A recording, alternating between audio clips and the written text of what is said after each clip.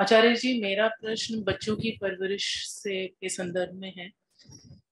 जैसे हमेशा से कहा जाता है कि एक बच्चे की परवरिश में उसके माता और पिता दोनों का ही बहुत इम्पोर्टेंट रोल होता है। और अगर दोनों में से किसी एक, अगर कोई एक पेरेंट भी अगर एबसेंट है तो बच्चे में बहुत बिहेवियरल इश्यूज़ पाए जाते हैं।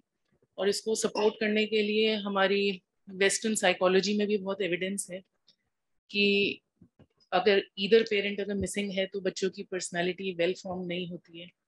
एंड उनमें बहुत ज़्यादा रिसेंटमेंट पाया जाता है। बहुत लो इन कॉन्फिडेंस होते हैं बहुत इंटीमिडेटिंग पर्सनैलिटी होती है। तो मेरा प्रश्न ये है कि एक पिता के अभाव का एक बच्चे के विकास में एक विकास कैसे इफ़ेक्ट आप कुछ समझ भी रहे हैं? हम यहाँ क्या बातें कर रहे हैं? कुछ भी समझ रहे हैं? अर्जुन अपने पिता के साथ कितने साल रहे थे? अर्जुन के पिता कौन थे? उनका क्या हुआ था? आप बोल रही हैं कि वेस्टर्न रिसर्चर्स ने बताया है कि माँ और बाप होते हैं, तब बच्चा अच्छा बढ़ता है। अर्जुन को अच्छा माँ बाप बना रहे कौन बना रहा है? बच्चे को माँ बाप चाहिए कि कृष्ण चाहिए? अर्जुन के पास बाप थे?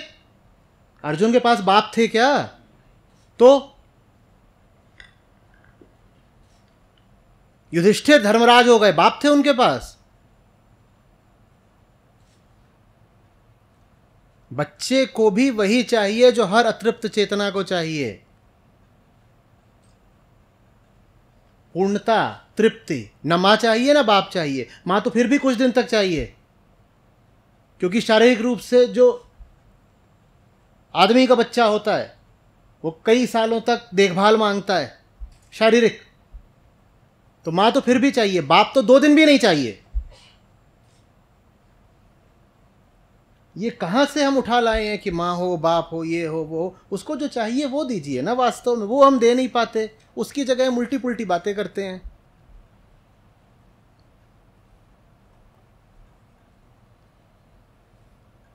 गीता अर्जुन को अर्जुन के बाप ने दी है क्या? कौन दे रहा है? वही असली बाप हैं। उन्हीं को बाप माना करो। यूँ ही नहीं, उसको परमपिता कहते। सत्य को परमपिता किसी वजह से कहा जाता है ना? हाँ। तो फिर ये माँ बाप शारीरिक माँ बाप का क्या चक्कर है?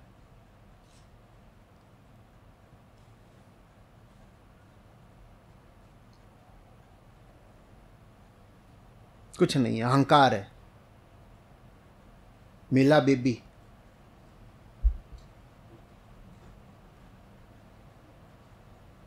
आपका नहीं है बेबी आपके शरीर से पैदा हो गया अलग बात है। बहुत प्राकृतिक सी बात है। कई बार तो पूरी बेहोशी की बात है, आपको पता भी नहीं होता कि पैदा होने वाला है। कई महीने बाद खबर आती है अच्छा।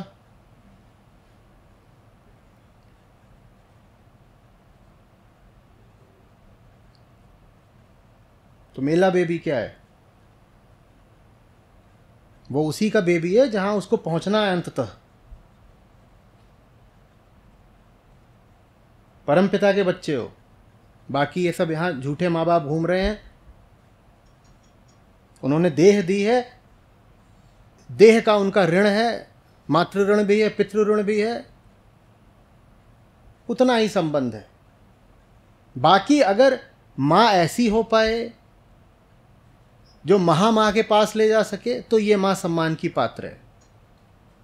पिता ऐसे हो पाए जो परम पिता के पास ले जा सकें तो ऐसे पिता सम्मान के पात्र हैं। कोई भी माँ बाप इसलिए इज़्ज़त का हकदार नहीं हो जाता कि उसने बच्चे को जन्म भर दे दिया है। बिल्कुल कोई सम्मान नहीं। शून्य, ज़ीरो।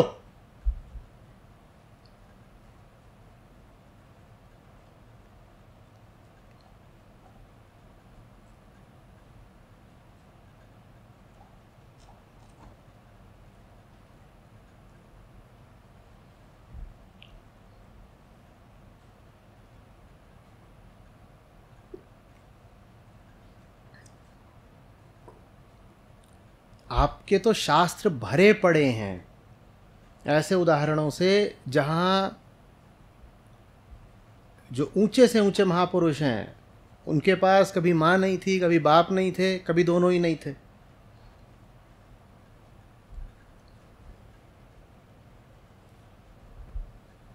तो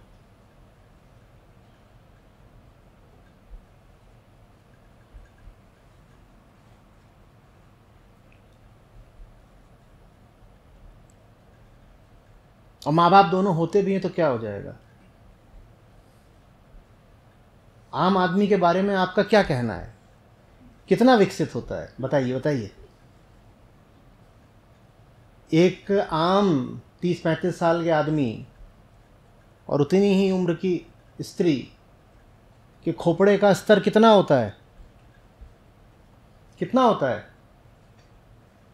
अरे बोल दीजिए। इतना क्या शर्माना। हाँ? बस। तो ये क्या बच्चा पैदा करके, कौन सा उसको ये बड़ा पोषण दे देंगे, परवरिश दे देंगे? बोलिए।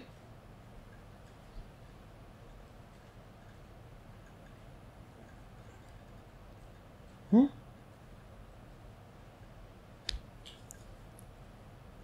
ये बात कितनी सीधी है ना, पर हमें नहीं समझ में आती। आप अच्छी तरह जानते हो कि सड़क पर एक आम आदमी चल रहा है, पच्चीस साल, तीस साल, पैंतीस साल, इसी उम्र में बच्चे पैदा करते हैं ना लोग। आपको अच्छी तरह पता होता है वो किस श्रेणी का है। लेकिन अगर वो बाप होता है या माँ होता है तो वो बस यूँ ही ऑटोमेटिकली सम्मान का हकदार हो गया। ऐसे कैसे? ये चमत्कार बताओ। हुआ कैसे? कैसे हुआ?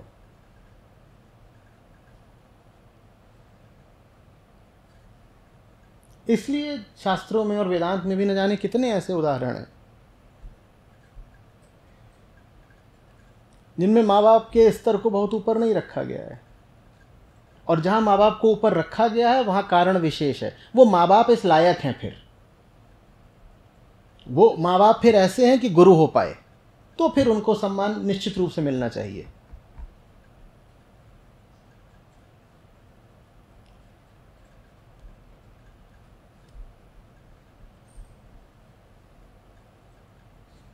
शास्त्रों के उदाहरण बोल रहा हूँ, समझ में ही नहीं आ रहे। पढ़े ही नहीं तो कहाँ समझ में है, शास्त्र। कई लोग यहाँ पे घर घर उपनिषद की प्रतिभल में रख के बैठे। कहाँ से दूँ उदाहरण? के जी एफ़ टू से उदाहरण दूँगा। नहीं, मैंने देखी और बहुत मज़ेदार है। एक दृश्य खास तौर पे, जब वो अपने बाप से अपनी माँ की समाधि पे झाड़ू लगवाता है। आपने नहीं देखी? आध्यात्मिक लोग हैं क्या आप? गंदी गंदी पिक्चर नहीं देखते। गुटखा खेने वाला तो पूरा देखाते हो।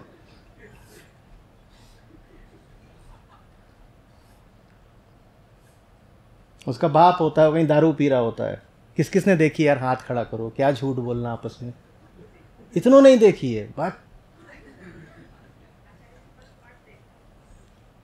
वो मैंने नहीं देखा।